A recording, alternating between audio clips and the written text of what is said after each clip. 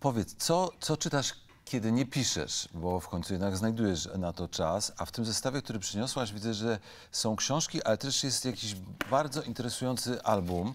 Jeden z tych, które się ukazały na stulecie e, No niepodległości. musiałam to przynieść, bo to już mój obowiązek jako obywatela polskiego No. i Europejki. To jest Księga Stulecia Niepodległości zrobiona przez Ośrodek Karta. Absolutnie niezwykłe wydanie. Zaznaczam, że Ośrodek Karta jest absolutnie również apolityczny. Nie jest to historia, że tak się wyrażę, lekko zmanierowana, żeby nie powiedzieć zmanipulowana.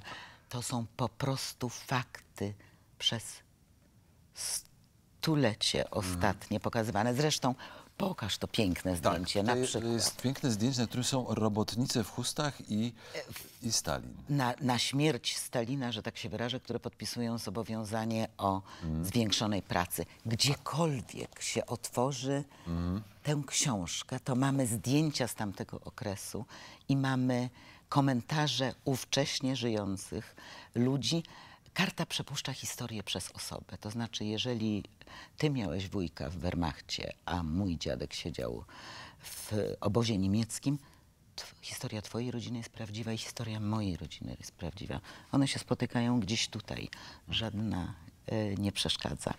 I bardzo chciałam Państwu powiedzieć, że po prostu ten album należy mieć w domu. Bardzo ładnie Zbyszek na końcu, to jest drugi tom, e, napisał bardzo pięknie, że nie jesteśmy mocarstwem.